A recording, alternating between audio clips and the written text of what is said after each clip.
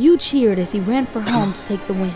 Sliding into the plate, he injured his arm. You're crossing your fingers, hoping his arm isn't broken. How long will you wait? How much is this going to cost? And where is the sneeze going to land? Leave the wait, cost, and hassle at the ER. Have your bone, joint, or muscle injury treated by a Mississippi sports medicine specialist. Orthopedic care without the drama. Mom,